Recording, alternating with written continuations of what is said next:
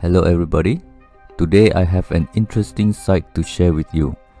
It is so unknown that even Wikipedia has nothing written about this site.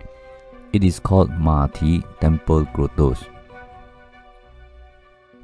Ma means horse, Ti means hoof, Si means temple, Shiku means grottos.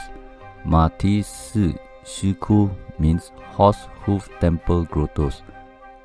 This temple grotto is located at Sunan Autonomous Region of Gansu Province. The terrain is pretty rough. Mati Grottos is 3000 meters above sea level. Matisi Grottos site is actually an amazing tourist spot for those who are interested in megalithic culture. This site is so isolated and under-promoted that even Wikipedia has no article written on this. The caves are divided into seven groups of grottos. The area stretches 30 kilometers long and it is not something you can even see in a day if you want to visit the entire site like an explorer. This mega project deserves to be documented by some officials at some point in history. Strangely, there is no official record of its construction the reason it is referenced to 1600 years ago is because of poets in Jin dynasty wrote about it. That gives me a reason to believe that something is going on behind the scene. According to mainstream, the first cave was carved 1600 years ago.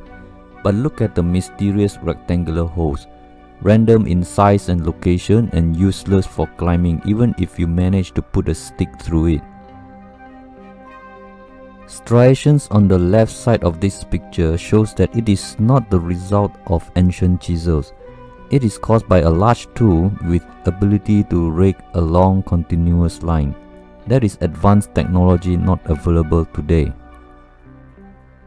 As if carving caves is not good enough, ancient Chinese even connect them through tunnels.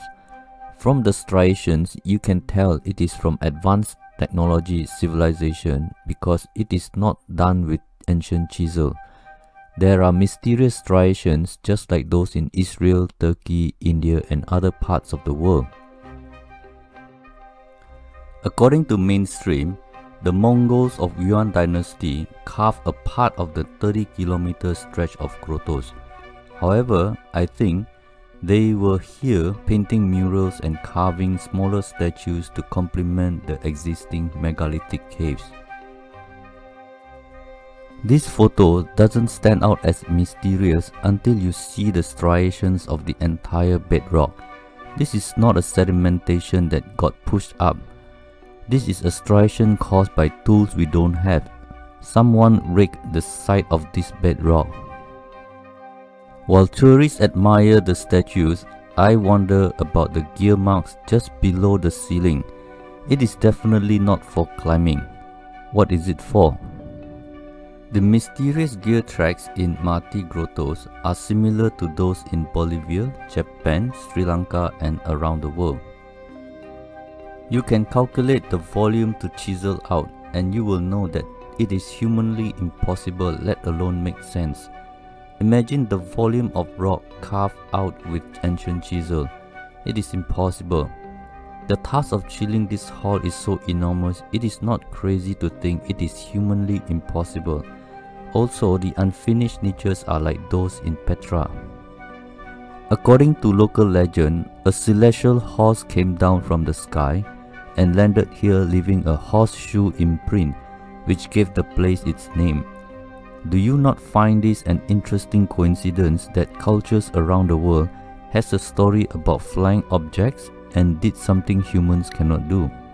Look at the picture above. Do you think a celestial horse descended from heaven and left behind this hoof print? Do you think it has anything to do with legendary King Gesa and his mythical Ling kingdom?